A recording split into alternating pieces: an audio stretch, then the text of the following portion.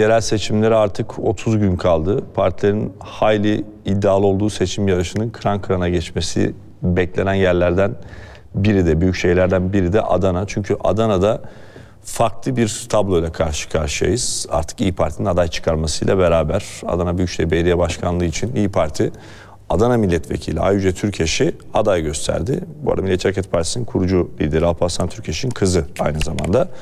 Hoş geldiniz. Merhaba, Yayın konuğumuz şu anda ana haberde. Nasılsınız? Sağ olun çok teşekkürler. Sıcak mı? Adana'nız? Sıcak vallahi yazdan geldi. Öyle mi? O kadar mı sıcak? Vallahi 20 derece civarıydı. Peki. İstanbul'a inince biraz şey soğuğu hissettim. Hissettin mi? Ki hava güzel yani İstanbul'da Evet, da. evet, Ama evet. Adana herhalde bir ay sonra falan gelmek zor olur artık. Yani, Yani, aslında bu kış şartlarının biraz anormal bu hava da bu kadar sıcak olmuyordu ama bu Evet. ara bu haftalarda biraz fazla sıcak. Siyasetin havası nasıl? Siyasetin havası da çok sıcak. Ben sahaya indim. Adana'da havalar iyice ısındı. Neden öyle? Kendi sıcak kanlılığım sahaya yansıdı. Milletvekilliği Pozitif. seçiminde de sahadaydınız. Evet milletvekili seçiminde Böyle de sahadaydım. bir yoruldum. Kendi tercihiniz mi bu arada? Önce onu sorayım. Yani ya öncelikle Adana şöyle söyleyeceğim. Ben e, tabii ki siyasetin içinde büyüğüm. Sizin de bahsettiğiniz gibi Başbuğ Alparslan Türkeş'in kızıyım. Dolayısıyla siyasetin içinde doğdum, büyüdüm ve siyaset hep hayatımızın bir parçası oldu. Türkiye gündemini ve siyaseti hep takip ettik. E, Sayın Genel Başkanım Meral Akşener'le de tanışıklığımız vardı. Beni 17 yaşımdan beri tanıyor, biliyor. Bu milletvekili seçimlerinden önce bana kendisi dedi ki Ay Yüce seni Adana birinci sıra milletvekili adayı yapmak istiyorum. Ne dersin? Ben de e, ger- kendi birikimimi, kendi deneyimlerimi gerçekten Türkiye'nin e, benim gibi e, insanlara ihtiyacı olduğuna inandığım için e, tabii ki dedim. E, ve seçimlere girdim. Adana'da zaten Türkeş'in karşılığı çok fazla. Ve Zaten Türkeş Adana'da sever- milletvekili de yapmıştı. Evet iki Sayın dönem Türkeş, iki Adana dönem. ilk MHP e, olduktan sonra CKMP MHP birleşmesi ilk Adana milletvekili oldu. Ondan sonra yine Adana milletvekili oldu. Sonra ihtilalden sonra şey e, değişti. Evet. Ondan sonra e, o yüzden Adana'da çok farklı bir şey var. E, Ben Adana'da sahaya indiğim günden beri buradan seçmenlerime tekrar teşekkür ediyorum. Gerçekten e, sinerjimiz çok iyi oldu. Bu Beni rüzgar çok biraz bastı. babanızla, yani soyadınızla ilgili bir Soyadımla da ilgili tabii ki Değil mi? ama beni İyi. de çok sevdiler. Yani birleşti ikisi diyeyim. İlk başta tabii ki soyadım ama sonra benim kendi kişiliğim, yaklaşımım, benim e, duruşum, işte vizyonerliğimi de gördüler. E, insanlara olan hizmet aşkımı da gördüler. Ben gerçekten siyaseti çünkü benim babam hep derdi ki siyaset e, insanlara hizmet için yapılır. İnsanlar Cenab-ı Allah'ın yarattığı en kutsal varlıklardır. Biz siyasiler insanlara bu şerefli kutsal hayatı yaşatmak üzere bu yola çıkıyoruz. Daha ben iyi böyle bir için. ortamda doğdum büyüdüm ve siyasette hizmet aşkıyla gerçekten de onun için de siyasete girdim.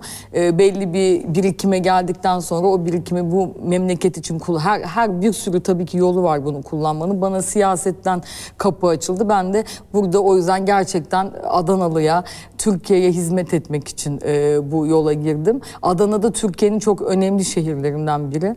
E, gerçekten sanayinin doğduğu çok büyük, çok güzel bir şehir. Ama maalesef son yıllarda bayağı ihmal edilmiş ve geri kalmış bir şehir. İnşallah Adana'yı yeniden parlatmak, yeniden büyük Adana yapmak bana nasip olacak. O yüzden Şöyle, de heyecanlıyım. e, Sayın Genel Başkan milletvekili için size teklif getirdi Evet. Adana'dan. Büyükşehir adaylığı konusu nasıl gündeme geldi Ya peki? ben şimdi Adana milletvekili olduktan sonra tabii ki Adanalılarla Adana'nın eksiklikleriyle, problemleriyle, Adana halkının e, istek ve dilekleriyle daha çok haşır neşir oldum. E, o yüzden Adana'ya hep daha çok hizmet etme isteğim ve hep böyle Adanalıların sesi olma çabamı genel başkan gördü. Aynı zamanda e, Milliyetçi Hareket Partisi de Adana'da e, aday çıkarmadı. E, dolayısıyla bütün Bu sizin için bir avantaj mıdır? E yani orada ben şimdi ben Türk milliyetçisiyim. Türk milliyetçilerinde bir nevi temsilcisi olduğumu düşünüyorum. Ee, tabii ki herkesten oy alacak. Bu bu öncelikle şunu söylemek istiyorum. Bu bayrak, bu vatan, Ata, Mustafa Kemal Atatürk yani anayasanın ilk dört maddesi, e, altıncı maddesi kırmızı çizgimiz diyen, bu vatan toprakları için kalbi çarpan herkes zaten Türk milliyetçisidir. Türkiye Cumhuriyeti milliyet. Biz bu minvalde buna hizmet etmek üzere buraya girdik. O yüzden Adana'da da bu Adana milli olarak milli duyguları çok yüksek bir şehir. Kurtuluş Savaşı'nda da Mustafa Kemal Atatürk'ü milliyetçi sırtlayıp evet götürdü. şehir. Ondan sonra Başbuğ Alparslan Türkeş'i sırtlayıp götürdü. Adana'nın bu milli e, değerlerine sahip çıkacak bir aday olduğumu düşünüyorum. Adana'nın kadını çok güçlü, e, sesi çok güçlü, üretici bir kadın. Onu da temsil ettiğimi düşünüyorum. Hem Ö- Özür dilerim şeyi bitiremeyiz. Say- Sayın. Genel Başkan mı söyledi? Büyükşehir adayı olunca siz mi söylediniz? Yani Sayın Genel Başkan dedi ki ayrıca ben seni Adana Büyükşehir Belediye Başkanı adayı olarak düşünüyorum. Ne diyorsun dedi. Ben Siz de de eyvallah. çünkü ben gerçekten Adana'ya ve Adanalılara onu da hissettiği için söyledi zaten Sayın Genel Başkan. Sonra sokağa çıktınız. Evet, sonra Adana'da da- bir kez daha evet milletvekili bir kez adaylığından daha sonra. sokağa çıktım. O şey tartışmaları oldu mu sokakta? Yani size karşı bir sempati olduğu konuşuluyor. Evet. Evet, yani var. babanızdan dolayı da konuşuluyor. İşte bilinen bir isimsiniz. E, milliyetçi bir seçmen var Evet. Adana'da. Ama işte oyları bölüyorsunuz tartışma. Mesela MHP aday çıkartmadı ve Cumhur İttifakı üzerine AK Parti'nin adayını destekliyor. Cumhuriyet Halk Partisi Zeydan Karalar'la devam ediyor. Mevcut belediye Evet. başkanı. Siz geçen seçim Zeydan Karalar'ı desteklemiştiniz.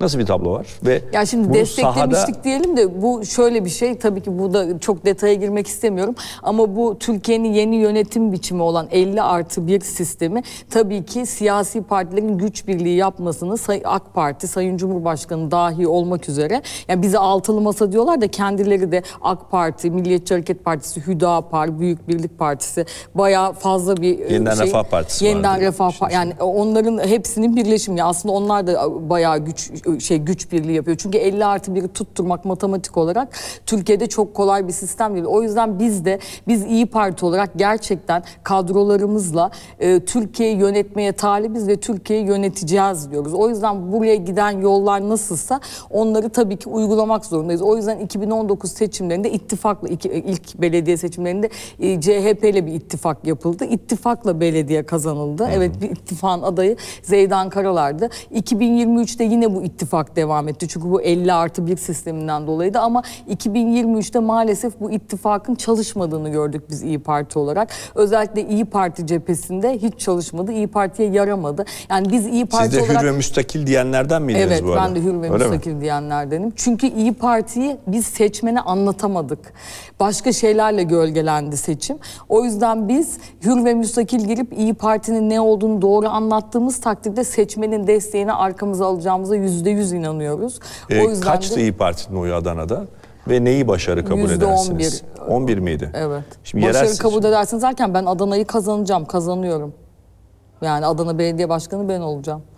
Şimdi burada yerel ye- genel seçimde aldığımız oyla yerel seçim e, bileşenleri de farklı oluyor biliyorsunuz. Buyurun. O Yani nasıl yüzden- olacak?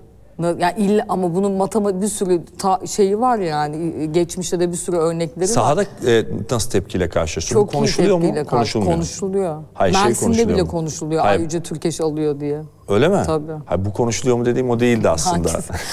Bu konuşuluyor mu dediğim ben o değildi ama kazanma olsun. odaklı gittim. E, Ama böyle yüksek bir motivasyonunuz var anladığım Var, kadarıyla bu öyle anlamda. evet yani iddialıyız biz. Zaten biz dikkat yani onu da kaçırmamışsınızdır eminim. İyi Parti kazanacak adaylarla ben bu seçime gireceğim diye altını vurguladı. Zaten milletvekilini- kazanacak adayı da gerçekten hani olduğumu düşünüyorum, inanıyorum. Zaten Adana seçmeni beni meclise yolladı. Ee, Beni Büyükşehir Belediyesi'ne de seçeceğine inanıyorum. Peki Adana'nın e, sorunu nedir temelde belediyelikle ilgili? o kadar çok Siyaset sorunu var. yaparken mesela Zeydan Karalar'ı mı eleştiriyorsunuz? E, Cumhur İttifakı'nın adayı mı? Nasıl siyaset yapıyorsunuz Adana'da? Ya işin açıkçası ben adayları eleştirmek değil benim işim. bir ben hukukunuz biraz var mı bu arada Zeydan Karalar'la da? Hukukumuz derken tanışıyoruz tabii evet tanışıyoruz. Ya şimdi şöyle bir şey var Adana o kadar bilmiyorum hiç Adana'ya geldiniz. Çok geliyorum. Ha, geliyorsunuz siz de fark ediyorsunuzdur. Adana o kadar güzel bir şehir ki ama o kadar ihmal edilmiş bir şehir ki. Şimdi ben şöyle diyorum ilk başta belediyecilik olarak zaten yapılması gerekenleri saymakla bitmez ama Adana'da 1960 belediyeciliğini yapmak çözüm değil. Yani şu, asfalt yaptım, yol yaptım, bulvar açtım. Bunları söylemek Adana'ya bir vizyon getirmek önemli. Şimdi ne biliyor musunuz? Mesela Adana'nın 2023-2024 bütçesine baktığımızda Adana'nın gelirleri e, işte 8 milyar TL'den 15 milyar TL'ye artmış ama bu artan gelirin %86'sı merkezi bütçeden geliyor. %14'ünü kendi yaratıyor. Halbuki Adana gibi bir şehir, Adana biliyorsunuz dünyanın en büyük 3. ovası olan Çukurova'da Evet. yer alıyor. Çok verimli toprakları var. Sanayi deseniz öyle. Sabancılar falan zaten ilk Adana'dan var oldu çıktı. Onun gibi bir sürü sanayiciler var. Turizm potansiyeli deseniz öyle. Burada yüzde on dört gibi bir gelir yaratıyor. Yani bu kabul edilecek bir şey değil. Bizim zaten hedefimiz ilk beş yılda Adana'nın kendi gelirinin yüzde kırk yani gelirinin yüzde kırkının kendi yaratması. Ve Adana üreten bir Adana olmalı. Mesela biz kimya ihtisas endüstrisi diye yumurtalıkta bir hatta şu anda Ceyhan'da e, e, enerji endüstri bölgesi ilan edildi ama o tamamlanamadı. Onun üzerine de gideceğiz, tamamlayacağız. Mesela Türkiye'de herkes biliyor petrokimya ürünlerinin yüzde yetmişi ithal ediliyor ve cari açığa çok büyük yükü var. Biz bunu kendimiz üretebiliriz. Adana'da bu yumurtalıktaki kimya iktisası endüstrisini kurup ve bu hem Türkiye'ye yaklaşık 20 milyar dolar kadar bir cari açığa katkısı olur hem de Adana'nın ihracatında çok büyük bir faydası olur. Biliyorsunuz ki şehirlerin e, e, geliri yani vergi, ödediği vergiler arttıkça merkezi bütçeden alacağı pay da artıyor. Aynı zamanda belediye, belediye, özel sektör, üniversiteler işbirliği yapıp orada bu ürün gambını çok rahat geliştirip e, dünyaya satabilir. Buradan belediye kendine ayrıca gelir elde edebilir. Mesela bir tanesi bu. Daha onun dışında yapılacak bir sürü e, yollar var. O yüzden hani ben Adana'nın evet trafik problemi birinci problem. Şu anda Adana'ya sorsanız trafik. der ki trafik berbat. Çünkü Siz neden? de ışıkta böyle 0.1 saniye durduğunuz mu kornayı yiyorsunuz. Öyle Evet anladım. Maalesef öyle doğru Yani söylüyorsunuz. yeşil yandığı an gitmeniz dar, lazım. Evet çok dar yollar. Sıcak memleketin insanların kanı daha Bayağı sıcak, sıcak oluyor. O oluyor, yüzden evet. bekliyor. Zaten Adana onu da çok üzülüyoruz biz Adanalılar. Adana böyle e, üçüncü sayfa haberleriyle tanınıyor. Halbuki Adana'nın tanınacak o kadar güzel de var. yanları var ki halbuki o özellik yani yanlış bir pazarlama oluyor. Biz bunların hepsini düzeltecek, Adana'ya vizyon kazıcak, katacak. Hatırla biz hatırlamıyoruz o kadar ama hani babalarımız, annelerimiz daha çok hatırlıyor. Adana gerçekten hayal kurulan hani İstanbulluların yazın gittiği Doğru. işte Öyle böyle filmleri e, konu Çekilen. olan, romanlara konu olan bir yer. Adana bir mücevher Çok gibi zengin bir evet. yermiş Adana. Şu anda Adana o özel yani ben e, en son bu sosyoekonomik araştırmalar raporunu gördüm. 2003'te 8. sıradayken 2021'de 27. sıraya geri- gerilemiş e, sosyoekonomik gelişimde Adana. Adana'nın %70'i 35 bin TL'nin altında gelirle yaşıyor.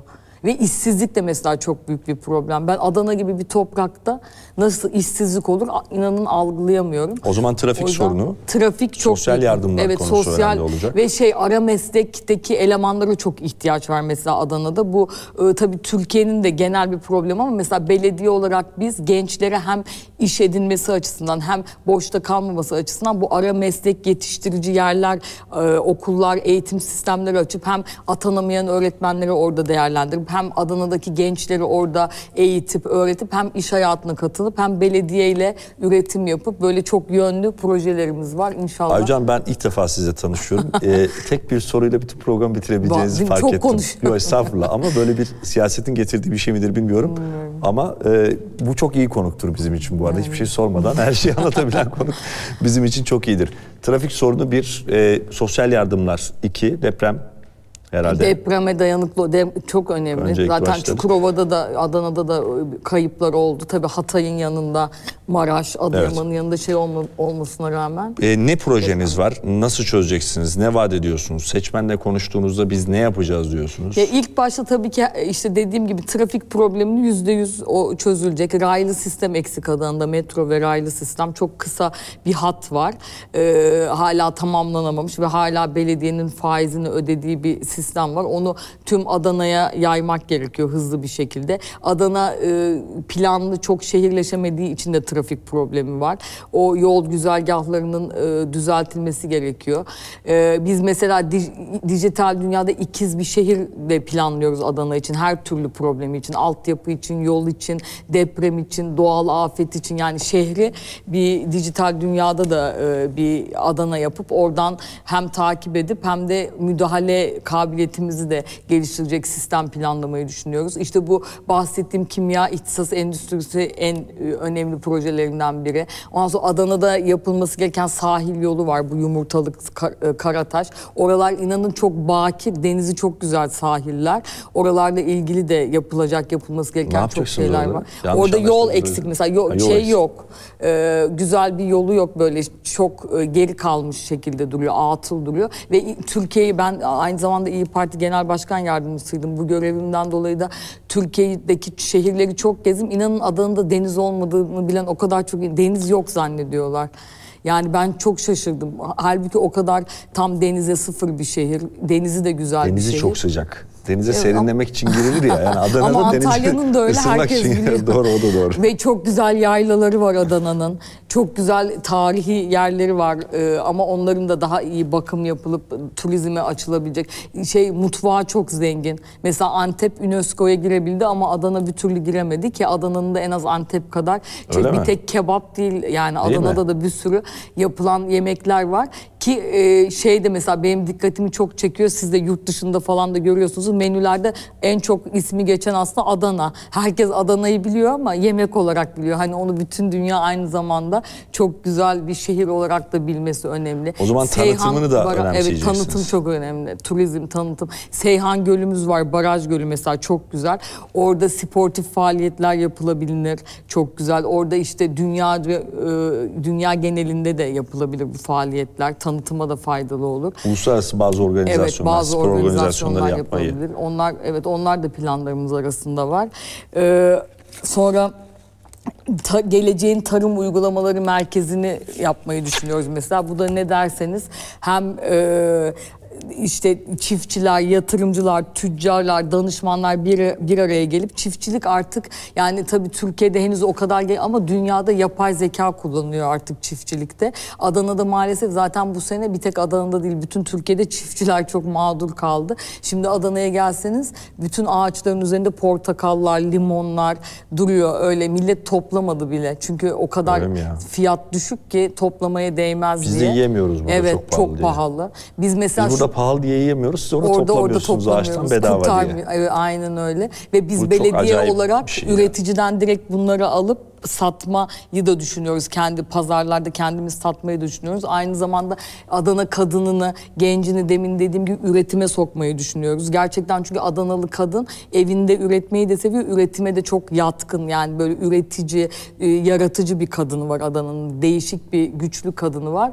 E, onları üret bu e, işte üretime sokup mesela üreticiden direkt alıp ürünü bu kadına ürettirip okuldaki çocuklara en az bir öğün beslenme vermeyi düşünüyoruz bedava. Çünkü gerçekten o konuda da sıkıntı Tüm var. okullarla ilgili. Evet, Yani e, tüm devlet okullar, okullarında. Evet, onları dağıtmayı için mi? düşünüyoruz belediye olarak. İlkokul, ortaokul yani okullarda çocuklar aç kalmasın istiyoruz. Çünkü bu da gerçekten insanların çok büyük e, yakındığı konulardan biri. Demin de söyledim Adana'nın yüzde yetmişi zaten gerçekten bayağı maddi olarak zorlanıyor. E, uyuşturucu çok ciddi problem. Niye? Çünkü işsizlik çok fazla. Bununla ilgili bağımlılıkla ilgili mücadele ve e, rehabilitasyon merkezleri açmayı düşünüyoruz. Ve siz de takdir edersiniz ki bir ülkede genç olmazsa o ülkenin geleceği de olmaz. Atatürk'te ey Türk gençliği diye gençlerimize hitabe bırakması zaten bunun en büyük işareti. Ee, benim babam Başbuğ Alparslan Türkeş'te hep şey derdi. Benim yatırımım e, gençlere, insanlara yapılan yatırım. Ben başka hiçbir yatırım yapmadım. Ee, nitekim e, o yüzden gerçekten insana yatırım, gence yatırım yapmak çok önemli. Bu konuda da hassasiyetimiz fazla olacak. Onları hem meslek sahibi yapacağız hem spor alanları, eğitim, kültür. Mesela öyle çok güzel kültür, etkinlik alanları da yok Adana'da. İşte çok fazla tiyatro olacağı, işte çok fazla kütüphane, gençlerin spor yapabileceği, hatta milli sporcu olabilecekleri, onları destekleyebilecekleri bir sürü çeşitli imkanlar yaratılabilir. Onları da belediye olarak yapmayı düşünüyoruz. Bu kadınların en çok problemi işe giderken çocuklarını bırakacak yerde zorlanıyorlar. Biz Kreş. diyoruz ki evet belediye olarak açacağımız üretim yerlerine çocuklarınıza gelin. Biz çocuklarınızı orada hem e, bakalım siz çalışırken rahat edin. Hem yine oraya atanamayan, atanamayan öğretmenlerimizi de devreye sokabiliriz. Çünkü kreş ayrıca vardiyalı çalışan anneler de çok şikayet ediyor. Hani mesela akşam saatlerinde çocuğumu bırakamıyorum diyor. Onlara da destek olacağız inşallah. 24 saat mi açık olacak kreş? Yani 24 Akşam- saat olabilir ya da işte vardiyalara göre o, o, o zaman açık olabilir. Oralarda vardiyalı çok çalışan yerlere göre oraya göre konumlandıracağız. Bunlar üzerine bir e, analiz çalışması, detaylı analiz çalışması yapacağız. Hatta öyle ki belediyede bir merkez açmayı düşünüyoruz. Kent merkezi gibi. E, bu sosyal dokusunu çıkaracağız Adana'nın. İşte ne kadar engelli var, ne kadar yardıma muhtaç insan var, ne kadar kadın var, ne kadar genç var, ne kadar çocuk var. E, yapacağımız yardımları da çünkü artık Türkiye'de gerçekten sosyal belediyecilik çok önemli Çünkü e, ekonomi oldu. çok kötü. Evet, ekonomi çok kötü gerçekten. Ekonomi kötü olduğu için de maalesef Evet, belediyelere çok en büyük iş iddiaları, en düştü. önemli Evet. işleri sosyal, belediyecilik ve belediyelik. yardımlar oldu. Evet, yani Bunda doğru ellere e, bir de incitmeden. iyi bir şey değil bu arada Evet iyi değil ama mecburen biz şu şu anda. anda 2028'e kadar yapacağız. Herkes bunu 2028'de de iyi. Parti inşallah iktidar olduğunda o zaman daha köklü çözümler kadın aday olmanız dezavantaj mıdır, avantaj mıdır Adana için soruyorum. Avantaj. Adana evet Adana'da kadın dediğim gibi güçlü. Ee, kadın e, beğen seviliyor, güçlü ve kadınlar Adana'nın kadınları da hani destekliyor, çok hoşuna gidiyor. Aynı zamanda hani ada hani ben hep şey diyorum meydanlarda cennet anaların ayağı altındadır ya. O yüzden ben Adana'yı cennete çevireceğim. Kadın enerjisi biraz gerçekten toplumda kadın enerjisi olduğu mu bakış açısı da biraz değişiyor. Bir gününüz nasıl geçiyor? Yani hafta sonu ne yapıyorsunuz, hafta içi ne yapıyorsunuz? Şimdi seçim zamanı mı yoksa- Seçim zamanı tabii. Şu anda ne yapıyorsunuz? Evet Mesela vallahi sabahtan şu anda çok kadar. yoğun geçiyor. Sabah kalkıyoruz. e, Kaçta çok- kalkıyorsunuz? Ben erken kalkarım. Ee, genelde nedir? yani 6 Altı. civarı kalkarım. İşte hazırlan. Ee, zaten iki çocuğum var. Ee, onlar onların da bağışlasın. sağ olun teşekkür ederim. Çocukları görüyor musunuz? Var. İşte arada e, onlar okula gidiyor, geliyor. Biraz tabii bu bu seçim Eşiniz zamanı zor herhalde oluyor o ama seçim zamanı eşim çok yükü- destek oluyor. Evet Allah razı olsun. Okula gidecekleri vakit görebiliyoruz ama akşam görmek zor oluyor çünkü onlar uyumuş oluyor tabii ki. Peki kalktınız 6'da yani seçim çalışmaları mı doğrudan? Yani ilk başta tabii biraz kahvaltıydı işte Çocuklarla hazırlanmak da bir- oydu buydu. Genelde 8-9'dan sonra e, çalışmalara başlıyoruz. Günlük toplantılarımız oluyor. Ondan sonra kahvaltılar oluyor. Gidilmesi gereken e, işte ya özel toplantılar oluyor ya kurumlar oluyor. Ondan sonra taziyeler oluyor. Bir de ilçeleri geziyoruz. Köyleri, mahalleleri geziyoruz. O gelen talepler doğrultusunda aynı zamanda bizim il teşkilatımızın hazırladığı programlar oluyor. İşte bölgeye, ilçeye göre. Onları organize ediyorlar haftalık. Biz de valla sabahtan inanın bazen gece 1'e 2'ye kadar, bazen 10'a kadar.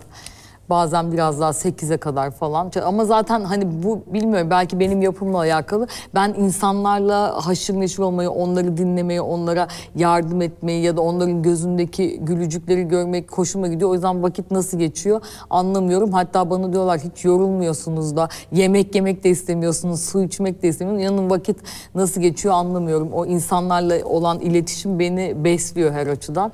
O yüzden insana hizmet etmek için yaratıldığımı düşünüyorum. İnşallah Allah bana nasip etti Yüce Türk Milletin Meclisi'nde, Türkiye Büyük Millet Meclisi'nde hizmet etmeyi. Ama böyle Adana Büyükşehir Belediye Başkanı olarak hizmet edip Adana'yı kalkındırmak ve oradan Türkiye'ye de katkıda bulunmak, bulunabilme imkanına sahip olmak beni daha da heyecanlandırıyor. E, genelde sahaya çıktığınızda ne tür taleplerle karşılaşıyorsunuz? Sosyal yardımlar Evet dışında. oluyor. Yani şey, iş yardım, isteyenler iş oluyor. arayanlar var. E, mesela çok ilginç gelecek belki bilmiyorum. Belki de gelmeyecek. E, Adana'da su problemi de çok fazla var. Öyle mi? Bazı yerlerde mesela Kozan Adana'nın büyük ilçelerinden Ama baraj var, kanallar var. Var mesela. işte ama e, yani suyu olmayan, suyu kesilen, içme suyu gitmeyen bölgeleri var. Mesela bu konuda şikayet oluyor. Yol yol problemi olan daha üstlerde, kuzey tarafında daha üstlerinde böyle yaylalar tarafında özellikle bazı yerlerde gerçekten ulaşım zor.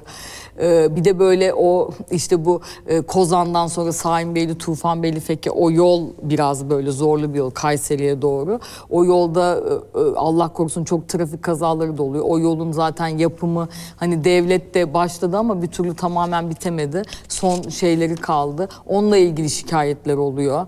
Ee, ulaşımla ilgili oluyor, trafikle ilgili oluyor. Ama genelde iş, e, işte sağlık şeylerine yetişemiyor. Hani hastane, mesela Sarıçam'da hastane yok. Sarıçam da Adana'nın çok büyük ilçelerinden biri. Onu söylüyorlar. Sarıçam'da yaşayanlar e, e, çok büyük bir nüfus. Adana sanayi, organize sanayide çalışıyor. Mesela ulaşımda çok zorlanıyorlar. Onu dile getiriyorlar. Bir an evvel metro sistemi yapılsın istiyorlar. Ee, süremiz bitmiş çok az kalmış. pardon. Miting yapacak mısınız? Yapacağız Büyük inşallah. Yani işte onun tam tarihi net değil ama bu 15 gün sonra falan inşallah. Sayın Akşener'in katıldığı bir Ee, onu Sayın Akşener zaten dün Adana'daydı. Benim lansmanım vardı, proje lansmanım. İşte onu ayarlayacağız. Daha net bir bilgi yok elimde. Ee, Hani şu gün Ama şu her halükarda bir miting yapacaksınız. Onu planlıyoruz evet. Allah'tan Peki. bir mani çıkmaz. Teşekkür ederiz efendim. Ben de çok Başarılar teşekkür diliyoruz. ederim. Çok memnun oldum. Sağ olun, İyi teşekkür akşamlar. ederiz. Sağ olun. Ee, İyi Parti Adana Büyükşehir Belediye Başkan adayı, adayı e, Ayüce Türkeş konuğumuzdu. Reklam arası şimdi efendim.